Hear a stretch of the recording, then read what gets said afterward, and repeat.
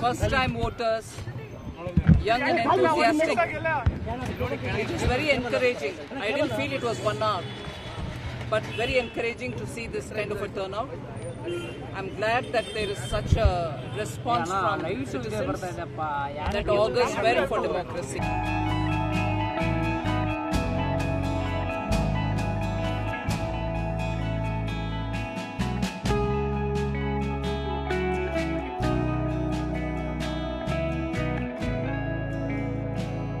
You are the youngest candidate of BJP uh, in Karnataka. Sir, one second. Let, let everybody come.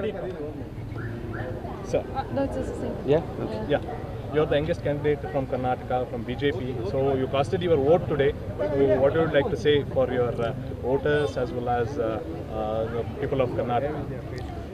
Um, when I was about to cast my vote, I stood before the voting machine for a minute.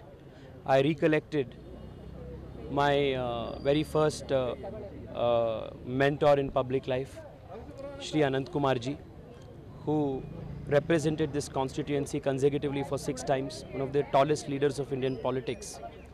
I remembered him. I thanked all the party leaders and the Prime Minister Narendra Modi for having given me this opportunity.